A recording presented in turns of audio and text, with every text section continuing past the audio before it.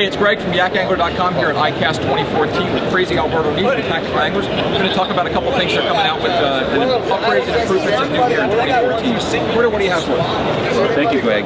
Well, what we have is basically we have the power clips, new power clip. It's basically it's very thick, very strong, and uh, it saves you time, and more importantly, saves you leader, um, particularly if you're using fluorocarbon and it's fairly easy to connect, but you want to try it, and once you use it, you'll never ever go back to anything else. And so for those of you who remember, go back to yakangler.com, check out the review section. We did a great write-up on the uh, power clip uh, last year, and especially how easy it is for kids to use instead of having to tie and retie. Alberto, talk to us about the crossover lures. Oh yeah, this is our new uh, crossover lure, and the reason why we call it crossover is because you basically can use it for freshwater as well as saltwater.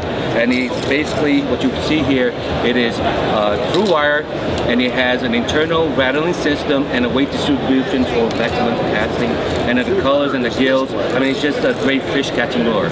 So this is taking all the features and all the innovations that you had in the larger smart lures and the, the surface saltwater lures and bringing them down, downsizing, but still keep the uh, fish attracting quality and the Absolutely, and in fact, these these are such a great fish catching lures. We had to uh, incorporate it with a 3X VMC base. Very good. So anybody who doubts the fish catching ability, go anywhere online, Google Crazy Alberto, and you'll find 5,000 pictures with fish with these in their faces. So Alberto, thanks for your time. Appreciate Thank you, Greg. Enjoy the rest of the show. Thank you very much.